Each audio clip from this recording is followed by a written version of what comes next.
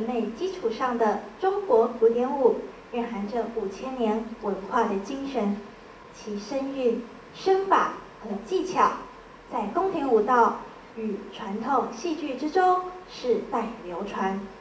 经过千年的锤炼，中国古典舞已经成为了一个具有丰富表现力的表演艺术形式。接下来，请欣赏由刘云熙老师所表演的中国古典舞《三分春色》。欢迎刘云熙